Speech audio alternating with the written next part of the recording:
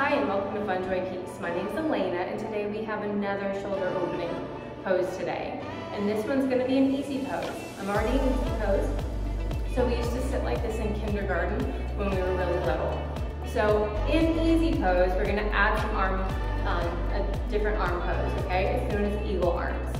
So this one is a great shoulder stretcher, so that's what we're gonna do today. So I'm gonna turn sideways so you can see me, but we're somewhat off center. So I want you to bring your arms out up to your side. I want you to bring your right arm out first, so bend at the elbow. And I want you to place your left elbow in the crook of it. Then we're going to twist your hands together. If you can't do that because you don't have that much mobility in it, I've been there, trust me, it does take some work. Do what you can. If you have to leave it like this, that's fine, don't worry about it. But what we want to do is we want to draw your elbows up towards your chin. Feel that stretch.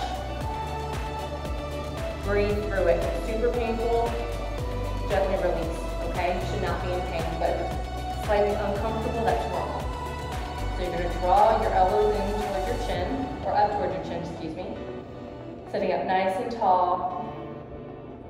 Inhale and exhale. and gently bring it back down and then release.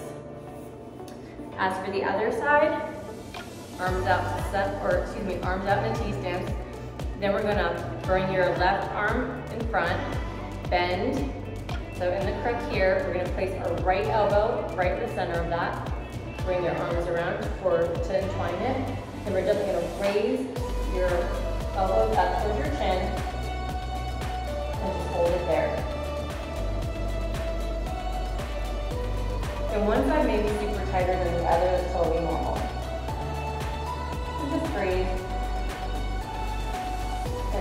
ready, bring your elbows down and then out. And that was easy pose with eagle arms. I hope this, you found this helpful. I hope this helps open up your shoulders. But if you have any questions, please feel free to let me know. I'm more than happy to answer them. But you have a wonderful rest of your day, and I'll see you tomorrow.